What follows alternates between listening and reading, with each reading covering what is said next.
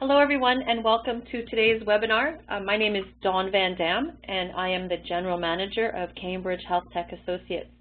Today we are very excited to be bringing you a unique opportunity for you to learn more about this exciting program called the Nobel Laureates School Visits Program.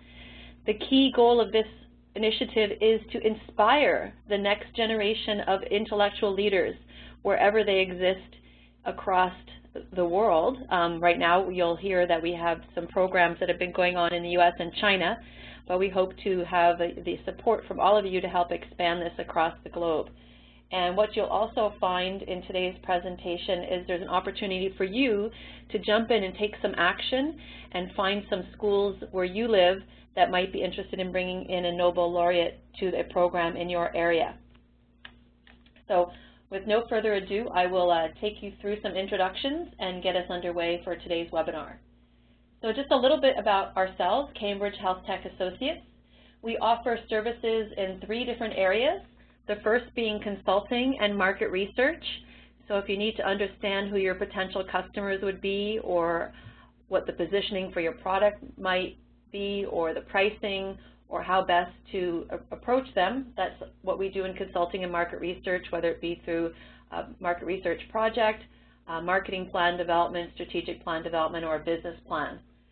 The second thing that we do, which I'll talk to you about a little bit more in a moment, is our Technology Evaluation Consortium, which is a fabulous um, initiative which has been going on for nearly 10 years now to bring new technologies to the pharmaceutical and biotech industry to have them evaluate them and see where they fit in their drug discovery and development pipeline.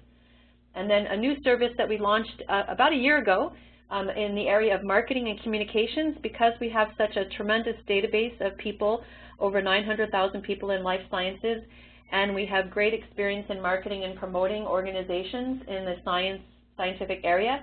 We offer a full service marketing and communications um, services to organizations across the world. And so today you'll see a little bit of our marketing and communications because you arrived today to listen to this talk. And also we host webinars for organizations like this or for your organization to share your knowledge around the world.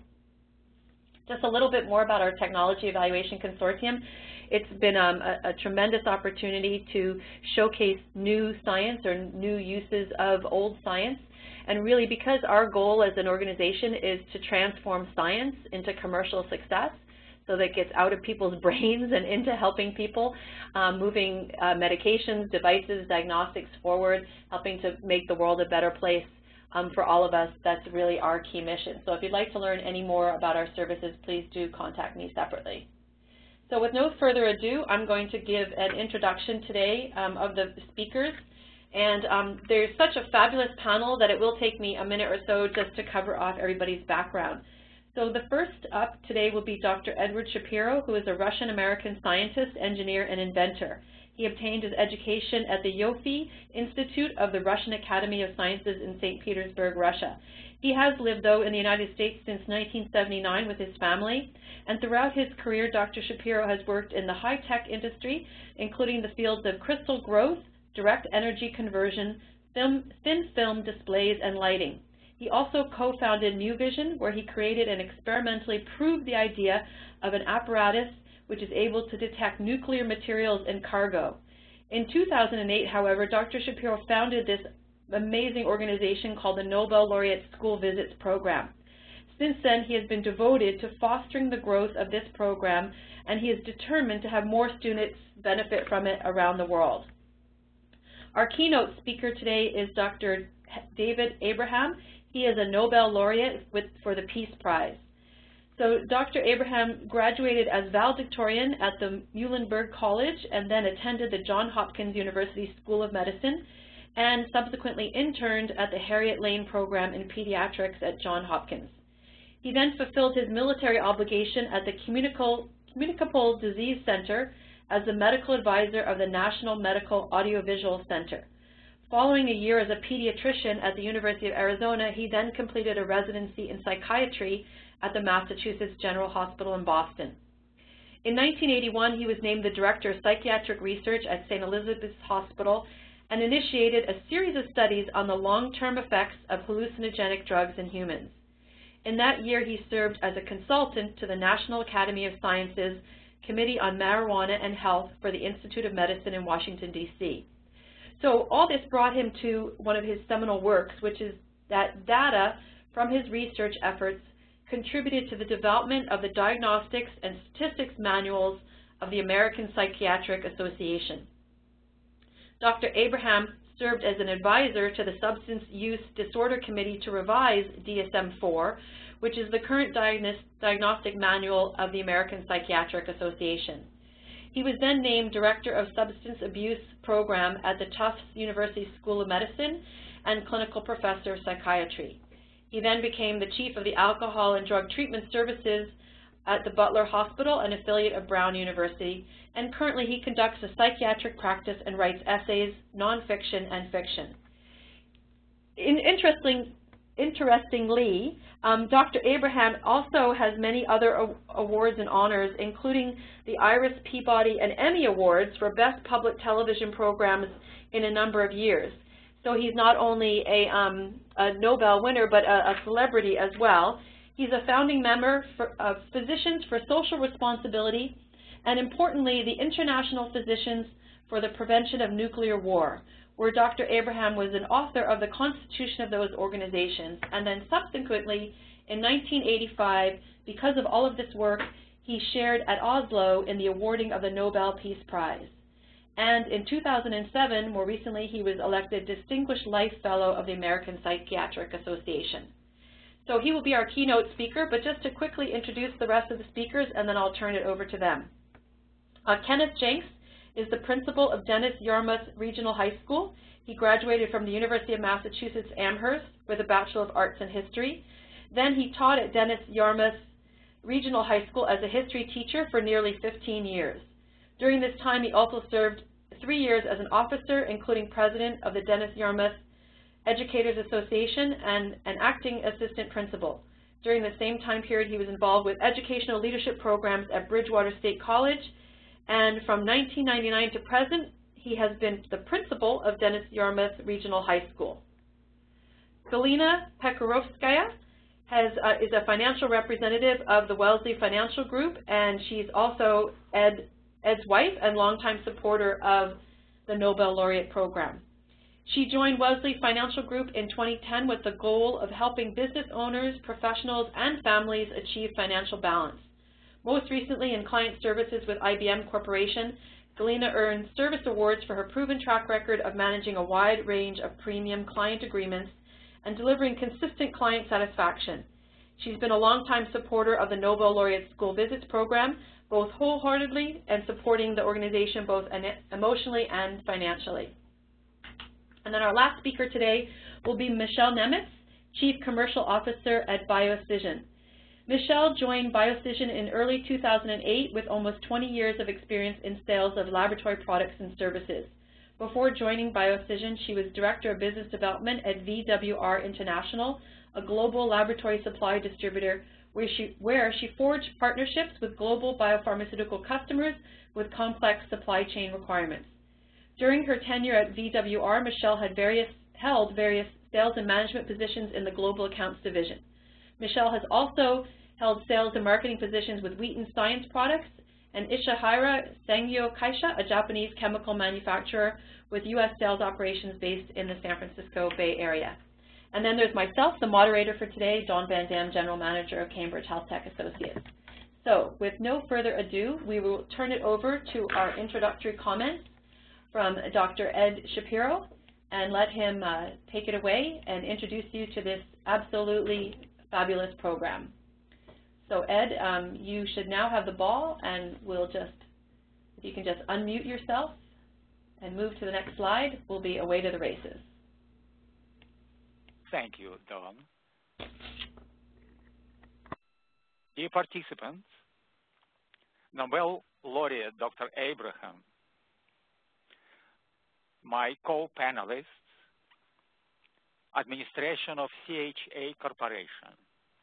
My name is Ed Shapiro. I represent a public charity whose mission is to organize Nobel laureate school visits. On behalf of our Nobel guest and all panelists, It is my privilege and honor to express our deep gratitude and appreciation to Dawn Van Dam and her team for such a brilliant assembly. As if we are all in one room, let us give them a thunderous round of applause. I don't know if you hear my sounds. You Nobel we all have a passion, and I'm going to share our passion with you. The passion is to inspire gifted children around the world, people who try to learn and like to learn, that they excel in their studies and persevere beyond what they think their limits are, since there are no limits that they select careers they like and follow in the footsteps of the Nobel laureates and intellectual leaders of their generation. I will impress you with three facts pertaining to the Nobel Prize today. Since 1900, when the Nobel Foundation was established, a few billion humans lived, among them only 875 people like you all listening to our presentation today, whose everlasting curiosity, passion for learning and hard work led them to receive the Nobel Prize. These few hundred people epitomize the ultimate achievements of the human mind. Next is to share that Nobel laureates, particularly in scientific nomination, have been the supreme torchbearers for civic courage and scientific integrity. Their fundamental discoveries have been destructive to the wrong interpretation and old doctrines. In most cases, they were shocking to the society and to their professional colleagues alike. In a few cases, they led to, to the attempts on the laureate's life. Next to share with you is to mention that about 40% of all Nobel, Nobelists over the years came from the United States of America. And lastly, about 200 Americans are Nobel laureates and share our land with us. The time given to me today would be well spent if I add to what we described a couple of further facts. As we all know, Nobel laureates as role models help discover and motivate promising students by demonstrating that doing science is real fun. And they inspire students that they be diligent, curious, and resilient in life. We, we were lucky here in Boston to connect with Massachusetts Secondary School Administrators Association, in plain language, school principals associations, who embraced the idea and supported us all the way.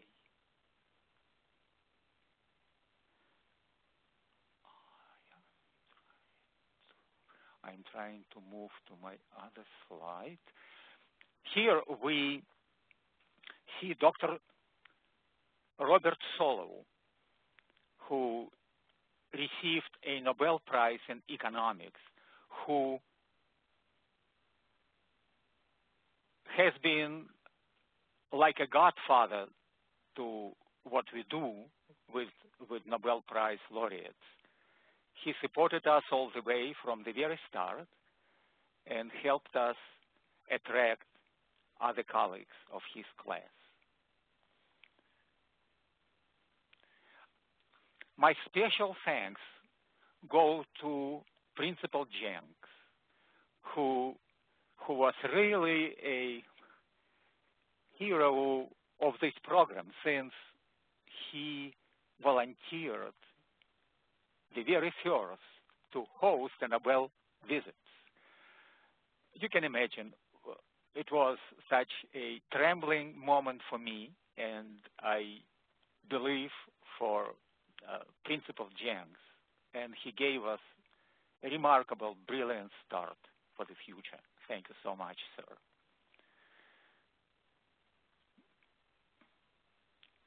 Thanks, Ed. My pleasure. We spent this four-year time moving across Massachusetts, really crisscrossing the state, north, south, east, west, with 39 Nobel events. In 2012, a situation allowed us to expand and we moved beyond Massachusetts border to New York City, Chicago, Illinois, and lastly this year to Northern California. There was a remarkable event which allowed us to do that. I attended a conference where I met Michelle Nemitz, a financial officer of Biocision Corporation in Northern California. That was really a greatest and most pleasant discovery, serendipity for me when she expressed interest in our program and graciously financed two Nobel events in Northern California, uh, in Menlo Park and San Francisco. Uh, most recently, about two two weeks ago, 22nd of November, we had a great success there and plan to continue our cooperation with the company for the future.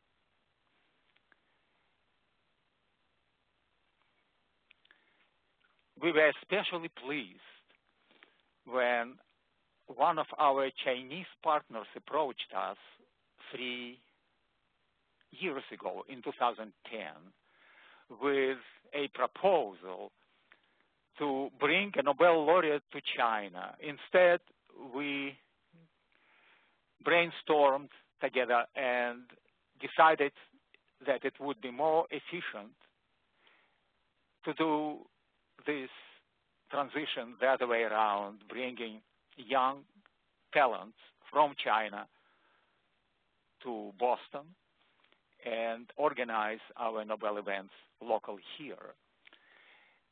My special pleasure is to express my deepest gratitude to Dr. Abraham, who joined our service with three Nobel visits in the most recent times.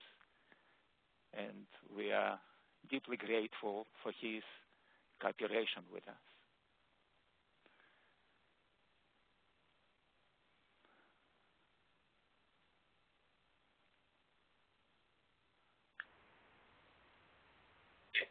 we received a remarkable response from everyone involved with the program. Students, school administrators, Nobel laureates, the media, we all are grateful and unstoppably ready to proceed with this remarkable project. At the conclusion, I again would like to express my deep gratitude to everyone and invite your questions whenever you're ready. Very best. Thank you.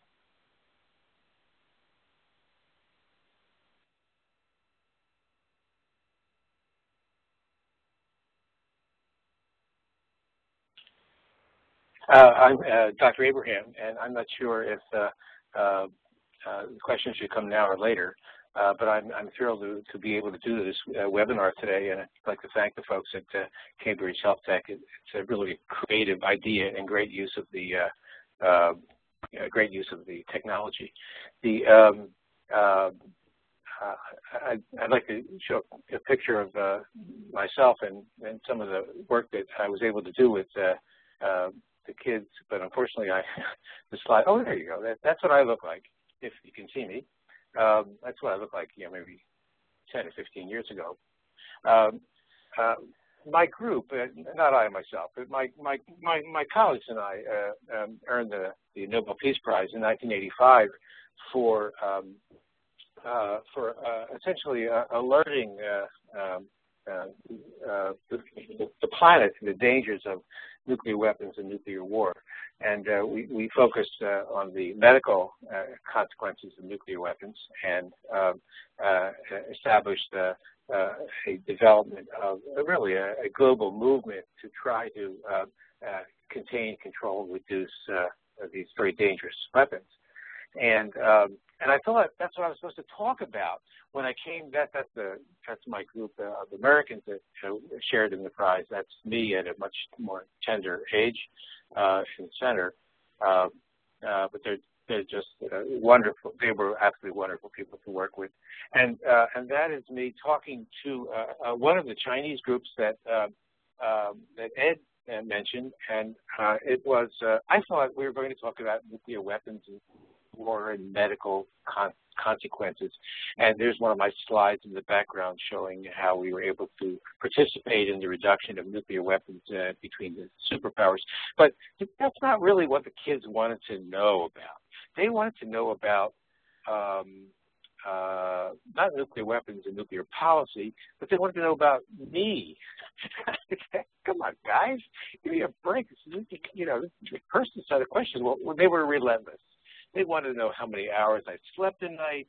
They wanted to know, uh, uh, you know, um, uh, little details of my resume. They, they, these kids did their homework, which is really a, a pleasure to, to discover. They want to know about my family. Uh, one of the most uh, uh poignant uh, questions was uh, in my work, did I ever make mistakes? And I love that question. And I said, every day every day. And, uh, you know, just to humanize the experience. Um, but um, the, uh, but what was uh, uh most, uh, here, I, I, can show some other uh, pictures of the kids. They're, oh, there they are. They're, they're, I had a fan club for an hour. It was really a lot of fun. Um, I've given many talks, and uh, this was the only uh, group that actually wanted to escort me to the door. Now, I, I, I presumed it wasn't that they were giving me a hook, but that they actually uh, uh, uh, just wanted to hang out a little longer. They, they were very appreciative of, of the talk. Um, and their questions were really terribly informed. And not only were they informed about uh, uh, you know, sophisticated things like uh, uh, foreign policy, which uh, I had to you know, do some homework about before I actually uh, uh, uh, stood up and talked. Uh, but also about the future of nuclear weapons and whether or not they had a role in, in, in foreign policy. They, they were just terrifically sophisticated questions which really put me on my toes. And um, uh, and and after um, talking uh, to these kids, I you know I I was just less worried about the future. I said, my goodness, such talented, intelligent, hardworking, optimistic uh, uh, kids uh, would have to um, foretell a, a, positive outcome for the human race. And, and, that was really my experience, and I and I'm sure it was it has been the experience of my uh, my other colleagues who participated in this program.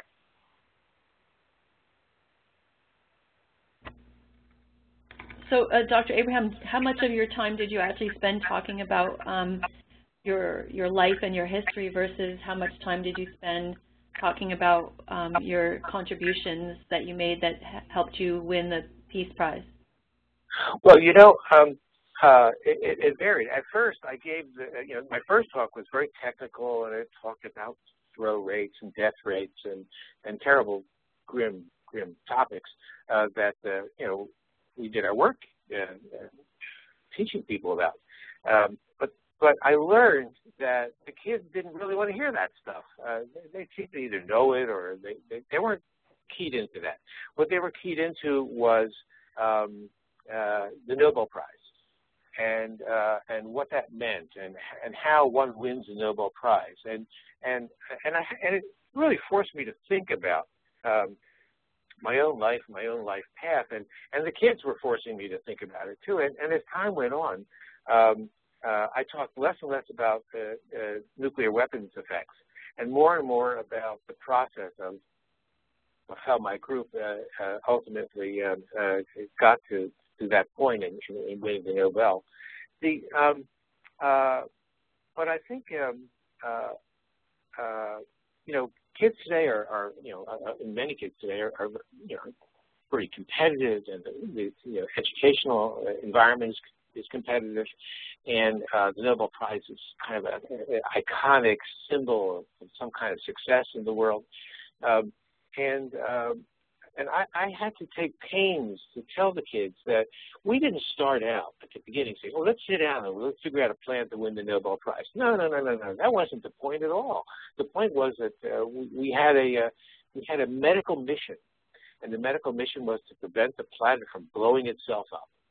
And uh, and how could we best do that? and uh, and we set about uh, with really I I would have to say my colleagues were among the best minds in medicine and we worked for a long time, and we made made sacrifices, and uh, and we ultimately were able to you know achieve the, the little bit that we did achieve in, in this in this field.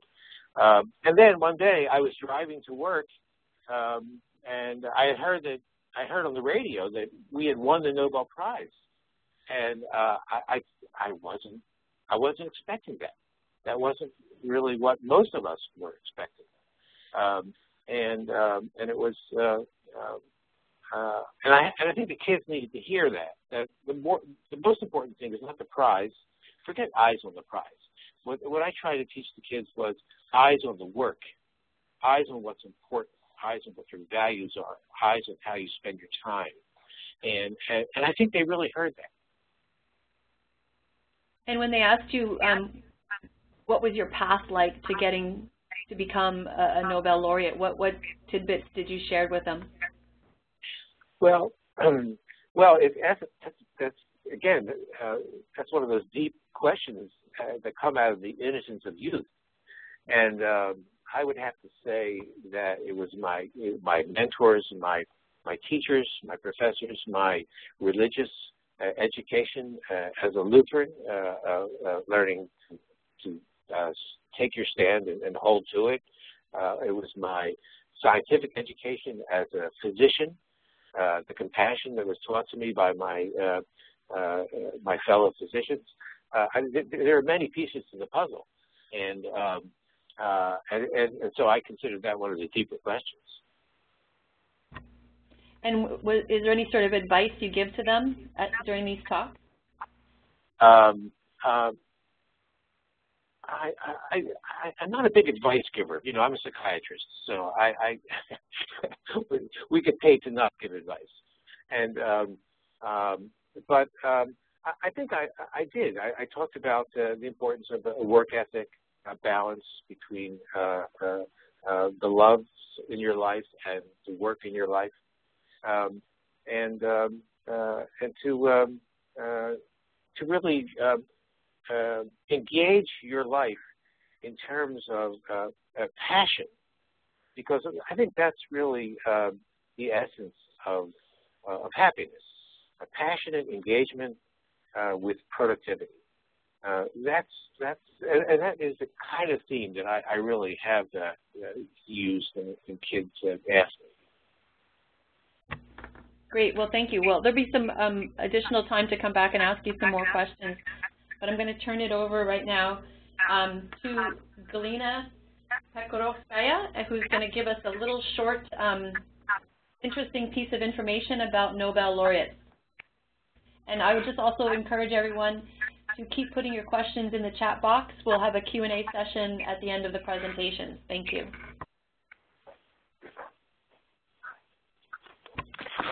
Hello, everyone. I'd like to just invite you to think for a moment. What makes a Nobel laureate? Uh, is it intelligence, determination, luck? Or how about chocolate? Believe it or not, a paper published in the New England Journal of Medicine last October found that the average per capita chocolate consumption correlates very well with the number of Nobel laureates that a country produces. And as a matter of fact, Dr. Abraham, who just spoke uh, for us, that he consumes a lot of chocolate. But think again before you devour a pound of chocolate. Can we really make this conclusion? Of course not. Correlation does not mean causation. In other words, just because two variables correlate well, it doesn't mean that one causes the other. Thanks, Galina. That was an interesting way to look at the, the science of uh, moving forward, but also uh, looking at, at, at, chocolate, which uh, I know lots of people love, but it might not get you to win the Nobel Laureate Prize. So with that, I'm going to turn it over to um, Kenneth Jenks. And uh, Galina, if you can just pass him the ball, and we're good to go. And Ken, over to you. Thank you. Thank you. Uh, I've been lucky enough to be uh, in education for about 30 years, and I have to say about half that time spent as a teacher and as an administrator, and the Nobel laureates in the classroom program was probably the most memorable, actually not probably, was the most memorable assembly I've ever experienced in my whole life. It was very inspiring.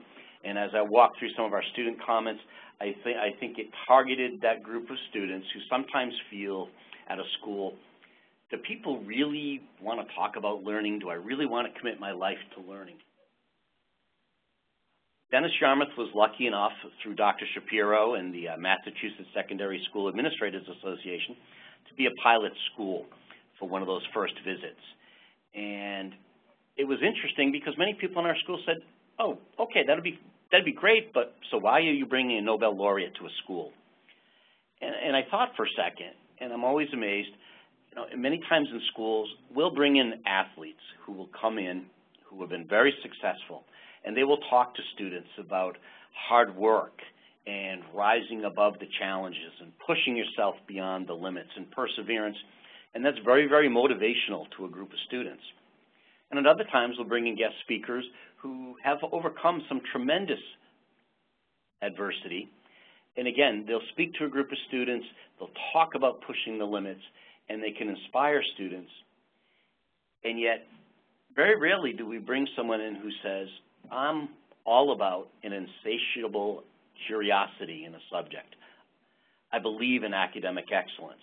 And so when there was an opportunity to have a Nobel Prize speaker come in and talk about you know, academic excellence, love of learning, commitment to learning and learning and learning, we were ecstatic. That's our core mission, and that's the best guest speaker you could possibly bring to a school.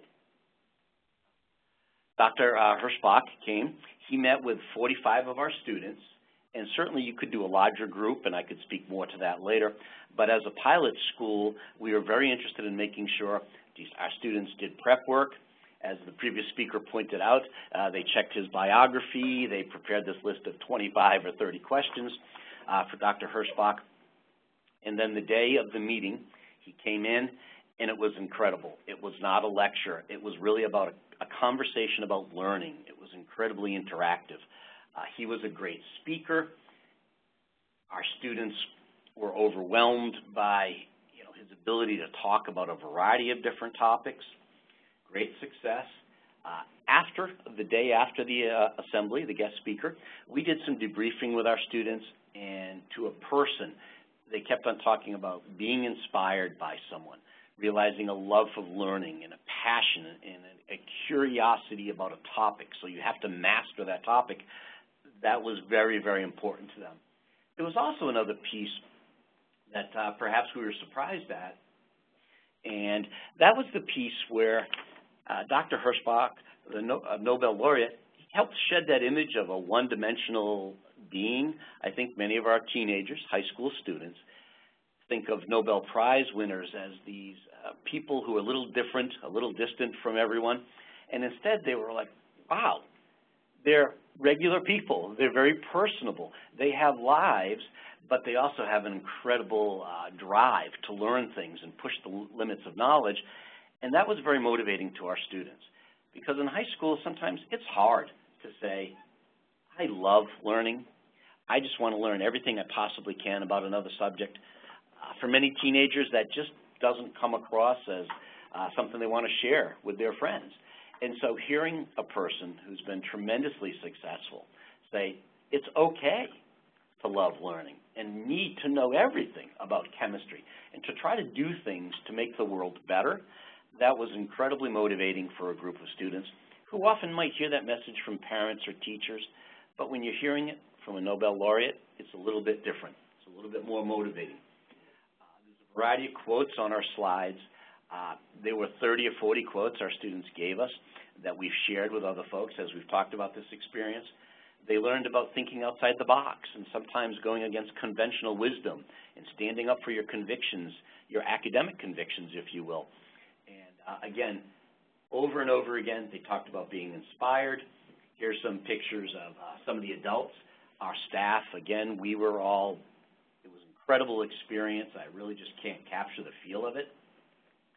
Uh, many of our students also said it was wonderful to find out that you didn't have to be, you know, you weren't born as the Nobel Prize winner, that you were made, that you worked through opportunities, you took advantage of opportunities to constantly learn and constantly master subject and be involved in the world.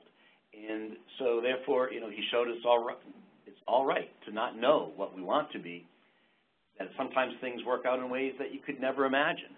And for a teenager who's not sure of their career path, those words, again, make it, it's good. I can try different things, and I can eventually find the subject that I'm really passionate about, and I'll work for that. We had a small lecture hall experience. Students, they kept on repeatedly talking about, he talks about passion for learning. I, I feel that, but I don't often talk about it. And so, again, great experience. It wasn't about his chemistry. It wasn't about why he was awarded a prize. It really was about life and how he viewed things and how he overcame adversity and how he, he stepped up to challenges. And when people, other researchers with him, questioned, nah, it's a crazy idea, how he went forward with that, that's great for teenagers. They love hearing that kind of thing, and it helps motivate them to learn more. And you know, quickly for the results, and I, I can't say uh, enough, a Nobel laureate sharing wisdom experiences with high school students. They listen. They really take that in because here's someone who is iconic, as, as uh, Dr. Abraham mentioned, and it represents sort of the epitome of learning applied to humanity, and that's, students are very idealistic, and to hear that, to hear that was possible, that you follow your dreams, you follow your passion, you master material, you work hard, and you push yourself to the limits, that's an incredible message. And they left highly motivated. Actually, for months after the visit, our students would make references to Dr. Herschbach. And I guess I'll summarize in a sense with this one slide here. I think that's what hopefully education for all of our students is all about. I learned one person through a passion for learning and incredibly hard work can make a real difference in the world. Uh, the visit made a real difference for our students here at Dennis Yarmouth. I highly recommend it to any school. When you have a chance to inspire students, you have to take it. Thank you. Great. Thanks so much, Ken. That was just fabulous. And if you could pass the ball to Michelle, that would be great. Um, we're going to turn it over to Michelle Nemitz from BioCision, and she's going to tell us about her experience being a sponsor of some of these events and hopefully inspire you to also get involved. And we'll talk about that a little bit more when Ed comes back to speak to us about the logistics. Hi, everyone. Um, thank you for this opportunity to present. Um, I had the, um, well, I, let me tell you a little bit about myself and my company, first of all. My name is Michelle Nemitz, and I'm the Chief Commercial Officer at BioCision. Um, BioCision is a supplier to the life science industry. We make tools for cell cryopreservation and, uh, and other um, benchtop applications. We were exhibiting at a trade show earlier this year in the summer, and I had the very good fortune to meet Dr. Shapiro while we were at this trade show, and he told me all about his program. And I happen to have two young daughters myself, and immediately understood the positive impact that this program could have on uh, on, on students today. Um, I think as Principal Jenks mentioned, um, there are many role models for students to look at these days. A lot of them happen to be, uh, for whatever reason, uh, celebrities, either sports, athletes, or uh, pop singers, or movie stars, or whatever. But here's a chance to offer a real significant and substantive role model to today's uh, youth. So I was uh, really intrigued by the program and uh, very much enamored uh, with Dr. Shapiro and his passion for the program. And so I took uh, the information back to my company and we decided to uh, get involved with Dr. Shapiro to help support the program and expand it beyond Massachusetts and New York and kind of the, the, the, the area in the east where he was able to operate locally.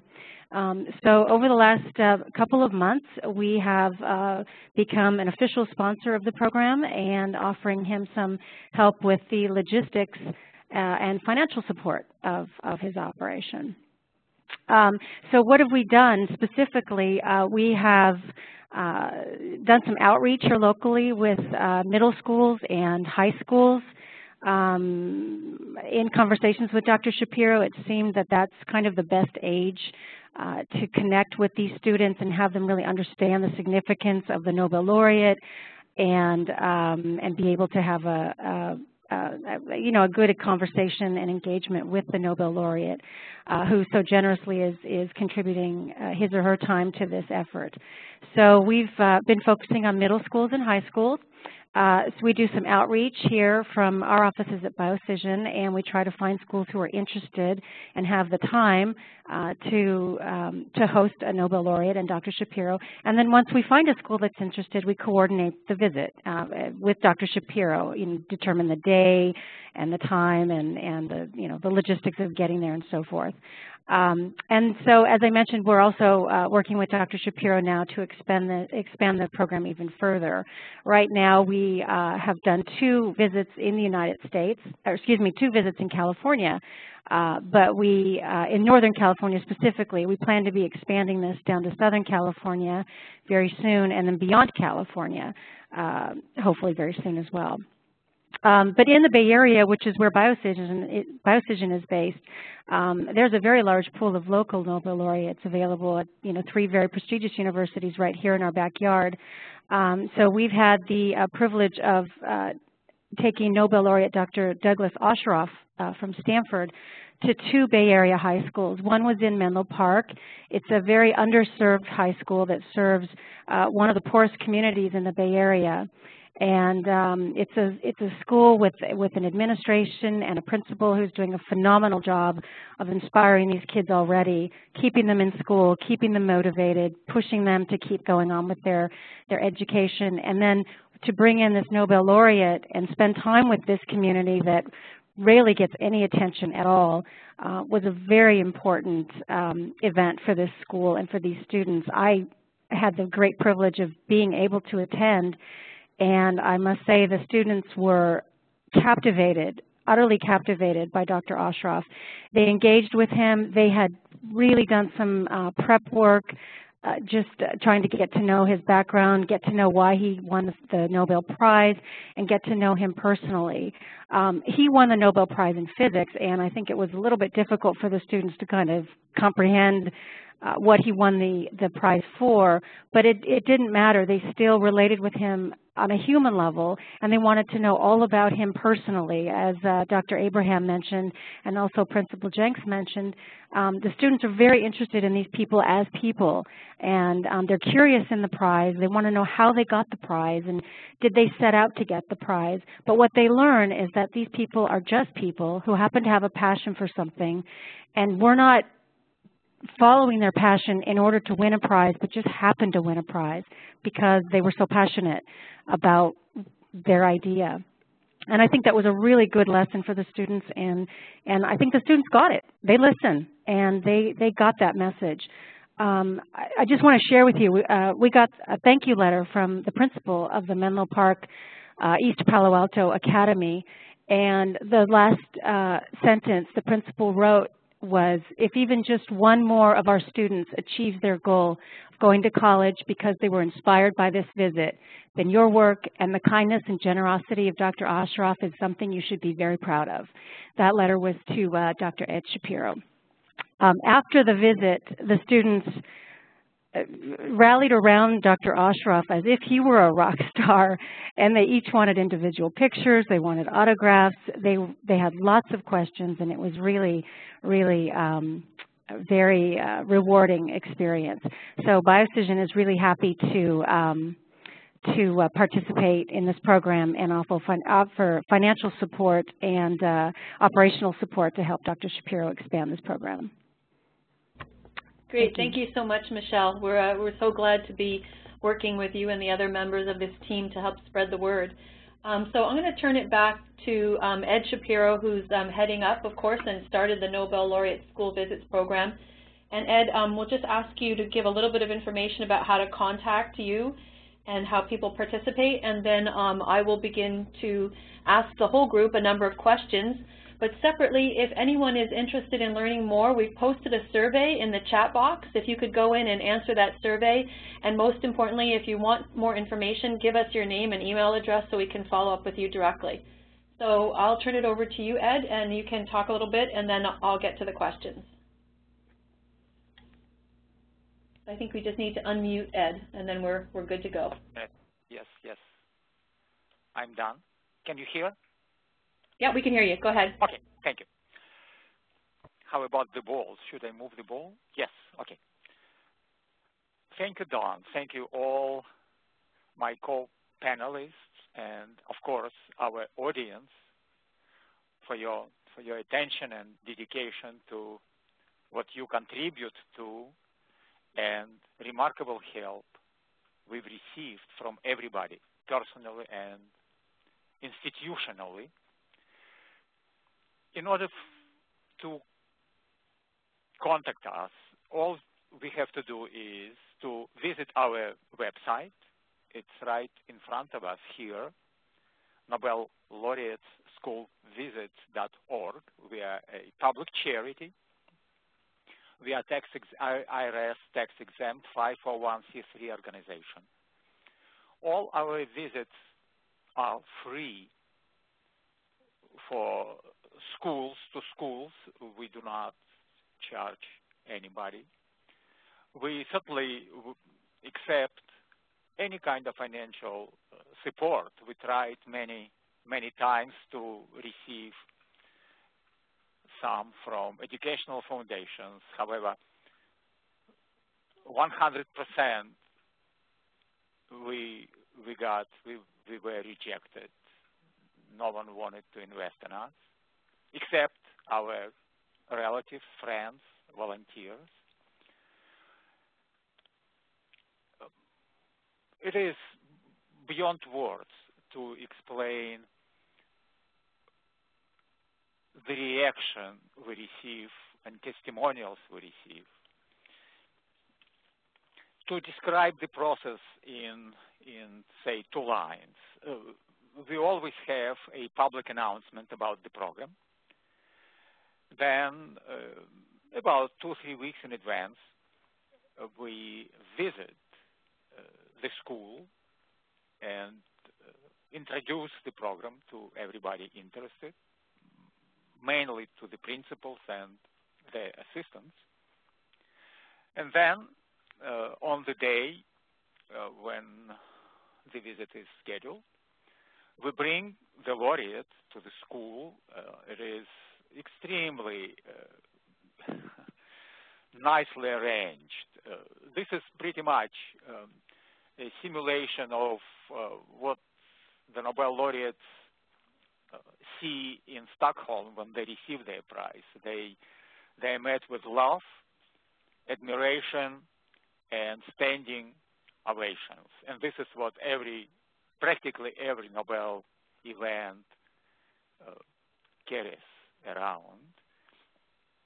So we have a short introduction. We have um, about 10, 15 minute introduction, and then the rest of this whole time, about two and a half hours, is devoted to is devoted to uh, to a Q&A uh, part, which uh, Michelle described the very best. Impossible to add a single word to it, and all and uh, Dr. Abraham as well. This is remarkable. That's all. That's all I can tell you. Of course, uh, we have as much uh, local media involved, and the every visit is broadcast throughout the uh, community, which allows us to, with our 39 visits, communicate with almost 1 million uh, residents throughout Massachusetts, uh, California, uh, New York, and Chicago in the areas we uh, brought Nobel laureates with the schools. And at the very end, uh, when we have maybe 15, 20, 25 minutes, we have to wrap up. Uh, we have a lunch with Nobel laureates, and these questions continue and coming, and this is fabulous. And uh, all the I learned, and everyone has learned, is that Nobel laureates are not Superman or movie stars or sports heroes. And they never be any of those. They'll always be as you, as our, our listeners, our panelists, your families, like carpenters, bakers, you name it, all walks of life. And this is what we bring to our future leaders. Thank you. Great. Well, thank you, Ed. So um, we'll turn it over to questions now. And I'll just say that um, if anyone is interested in further information, please just go to the survey link and give us your information via that so we can follow up with you. But a few points um, to note just that this is a, a, program that Ed is looking to expand to many areas. So he would love to hear from you if you would like to help expand it in your area. And um, the, you know, some of the costs are, are covered, but some of the costs were also, he's also looking for um, funding to help support it. But it's not that the schools are charged for this um, activity. We're looking, he's looking to have it all be um, funded by uh, donations, et cetera. So we encourage you to help think about ideas on how to expand this. So I have a first question here for Dr. Abraham. So you just have to unmute yourself. Um, the question is, Nobel laureates are fairly busy people. Why should one, a Nobel laureate, take time out to talk to high school students? Well, um, uh, that was sort of my thinking uh, before I gave my first talk, because I, I don't really spend much time talking to high school kids and it really uh, it blew me away. It was just, it was nothing. You know, I've given you know thousands of talks in my in my career, and uh, but I really don't talk to high school students by and large. And uh, and there they were asking me about how many hours of sleep I get and uh, uh, the mistakes I make, and it, it was just terrific. It was such a an innocent, honest, open environment that the kids created, and I really. Uh, I welcomed it. It was, uh, it was, uh, it, it, it, it, helped me grow. It changed me. Great, thank you so much. Um, next question is for the Principal Ken Jenks. Um, how did you, how did students prepare for the visit, and also what kind of follow-up did you do with the students after the presentation? Okay, in terms of preparation for the visit, uh, natural curiosity tried to figure out everything they could possibly find out about Dr. And so in the end, there was a list of 25 or so questions all about his life. And again, as other speakers have pointed out, it wasn't necessarily about why he was awarded the prize per se. It was about, geez, how did you decide to go into chemistry? And what did you do when you kept on trying things that didn't work? How did you persevere? And on the reverse side, when we debriefed, we, we talked with students and said, you know, quick, what's the one or two word summary of the experience? And that's where that inspiration and inspired came out. And then we talked more deeply, and they actually had a written response that they had to complete about the impact of this kind of presentation upon their ideas for the future and their thoughts. And a couple months later, we informally followed up with students, and the memories were still vivid, and the ideas were still there. And they just said, no, it's about passion and hard work and curiosity, and those are good things. And I feel, in a sense, you know, valued for that, hearing from people outside our school community that that's important. So that's how we played with those pieces. Great, thank you, Ken. Um, that's terrific. So Michelle, the next question is for you, so you just need to unmute your line. So um, where are, um, are you at BioCision planning to expand the program next in working with the Nobel Laureate School Visits Program? And how can other companies or individuals participate? So what are your ideas there, Michelle? Right. Well, as I mentioned, we are just getting started here in the Bay Area, so there's still quite a lot of expansion we can do here locally as we have a really large reservoir of um, Nobel laureates to draw from on our local universities.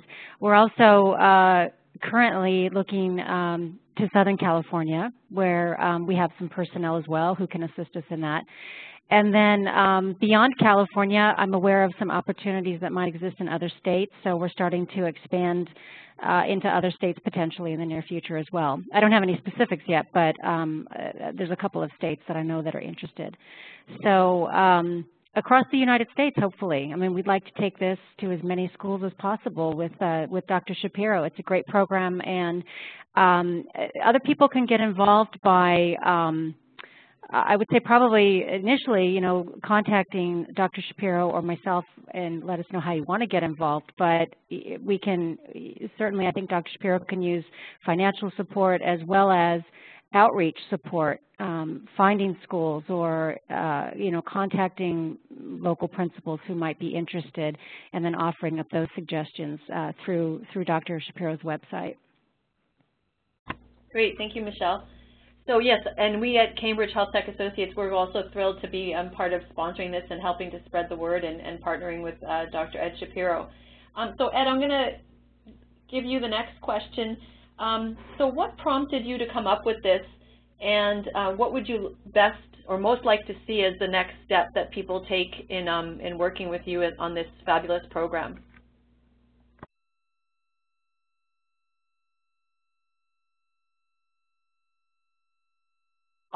I've been uh, unmuted. Um, thank you. Uh, this is what I have to, to share with you. I came to this country in 79 from, from a dictatorship to the very best country in the world. And this is my sincere and honest desire to contribute to its well-being and greatness. And this is how I discovered a possibility to do so, to create a program this nation would benefit from and walk ahead to, to its great future. Thank you. Great. Thank you, Ed. Um, so we've had uh, quite a few questions come in, and I do see that it's just about at the top of the hour. So if we haven't gotten to your question, please feel free to send it in to either um, myself or to Dr. Um, Ed Shapiro, and we can address it specifically afterwards. But um, I guess the, the last general question is how can we get Nobel laureates to our own community? Is there an application process? And I'll say yes, there is an application process that um, you complete with um, Dr. Shapiro.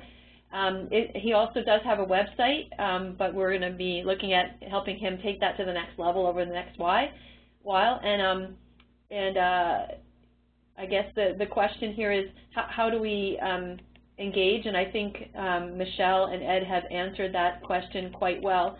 So maybe I'll put the very last question over to um, Dr. Abraham.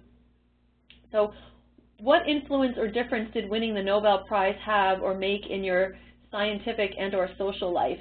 And in your experience, can a, a, devote, a person who's devoted to, uh, um, let's say, religion also be a devoted scientist? Well, um, uh, it, it, didn't make much uh, of an impact on my social life, because, uh, in part because uh, I prefer being treated like a person and not an icon. And so I, I, I really practically never talk about the Nobel uh, in public uh, or with friends or um, this this program being the exception, I think. Um, and in terms of religion versus science, I think we've settled that question pretty clearly. Uh, of course, uh, religion is a powerful force in the world, and for good and for evil. Um, um, but is there a contradiction between uh, uh my uh, religious experience or uh, education and being a scientist?